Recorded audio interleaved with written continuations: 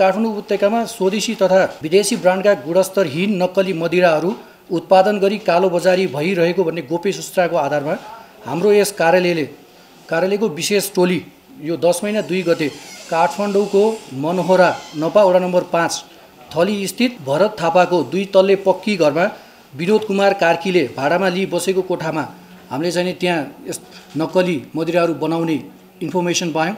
र त्यो अनुसार त्यहाँ गएर हेर्दाखेरि Khukuri rum golden work fighter signature तिन सय पैँसठी ब्ल्याक र यो मदिरा बनाउन प्रयोग गर्ने विभिन्न सामानहरू सगुन ब्रान्डको मदिरा त्यसपछि चिनी मिश्रित तरल पदार्थ चिनी र पानीको त्यसपछि रक्सीका खाली बोतलहरू आन्तरिक राजस्व विभागको अन्तशुल्कको स्टिकरहरू लेबलिङ गर्ने सामानहरू यसको प्याकेजिङ गर्ने सम्पूर्ण सामानहरू बरामद गरेर यो नौजना मानिसहरू समेतलाई यस कार्यालयमा हामीले पक्राउ गरी ल्याएका छौँ। यहाँ पक्राउ पर्ने व्यक्तिहरूमा मनोज खत्री उहाँ चाहिँ उहाँ चाहिँ नि अहिलेसम्म यो तेस्रो पटक हो।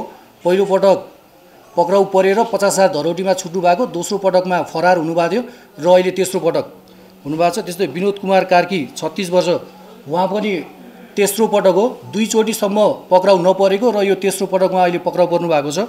त्यस्तै मोहन खड्का हुनुहुन्छ र यो गौरव तामाङ भन्ने उहाँ चाहिँ नि अहिले दोस्रो पटक हो। यस्तो गर्दै यो सम्पूर्ण नामहरू तपाईँहरूलाई आइहाल्छ यो नौजना हुनुहुन्छ। त्यस्तै यो नक्कली मदिरा बनाउन प्रयोग गरिने सामग्रीहरूमा चाहिँ हामीले के पायौँ त्यहाँ गएर हेर्दाखेरि चिनी पानी मिश्रित तरल पदार्थ। उहाँले चाहिँ यो चिनी र पानी मिलाउने त्यसपछि कालो हुने गरी त्यसलाई पकाउनु हुँदो रहेछ। त्यो पाक्दाखेरि जुन त्यो रमको कलर आउँछ त्यो कालो कलर चाहिँ नि कलर निकाल्नको लागि चाहिँ एकदम पकाउने र त्यसलाई डढाउने गर्नु हुँदो रहेछ।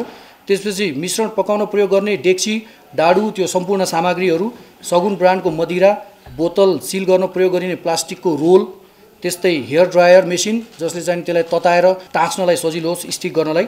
मदिराका खाली बोतलहरू र आन्तरिक राजस्व विभागको अन्तशुल्कको स्टिकरहरू हामीले बरामद गरेका छौँ र त्यस्तै भारी मात्रामा त्यो मदिराको त्यो बिर्कोहरू पनि त्यहाँबाट हामीले बरामद गरेका छौँ। त्यो स्वदेशी गुणस्तरहीन नक्कली मदिराहरू प्रचलित बजार दरबाउभन्दा कम मूल्यमा बिक्री गर्ने र यसलाई अरूभन्दा नि मान्छेको हेल्थ हेल्थ र सेनिटाइजलाई पनि असर गर्ने खालको कुराहरू पनि पाइएको छ।